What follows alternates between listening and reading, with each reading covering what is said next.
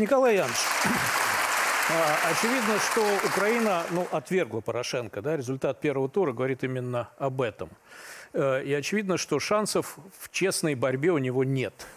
Но э, как вы представляете, во-первых, отказались ли Соединенные Штаты от игры с Порошенко и есть ли у него шанс?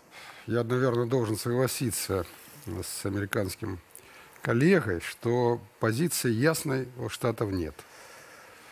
Это чувствуется по многим моментам. Вот. И то, что сейчас происходит, говорит о том, что в администрации на самом высшем уровне вряд ли выработана такая определенная позиция. Теперь, что касается шансов Порошенко, ну, шанс один у него – это фальсификация выборов. Он где-то примерно 3-4% по самым таким вот заниженным расчетам фальсифицировал. Это в основном, конечно, ему удалось сделать на западе Украины и на юго-востоке. Но есть округа, где он почему-то, почему-то там имел явку 85%, участки точнее, и вот за него голосовали 65-70%. Ну, если говорить о Донбассе, то это вообще исключено по определению, такого быть не могло.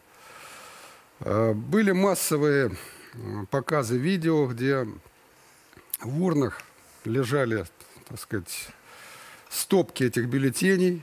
То есть ясно, что их просто вбрасывали.